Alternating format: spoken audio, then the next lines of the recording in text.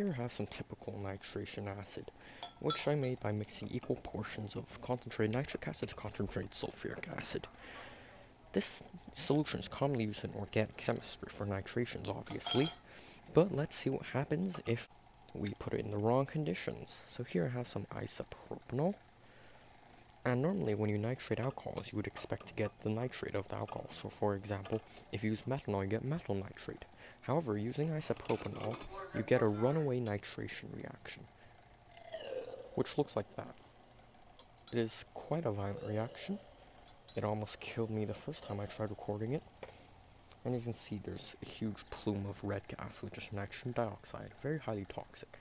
And you can see the reaction is quite angry. Um, I actually have no idea what's forming in there, but it's, it's a bunch of side products. It's gone yellow, of course. Yellow is the worst type of chemistry. Confirmed. And, um, I'm not gonna get... I'm not even gonna touch that test tube, just in case it detonates or something. Because... Who knows?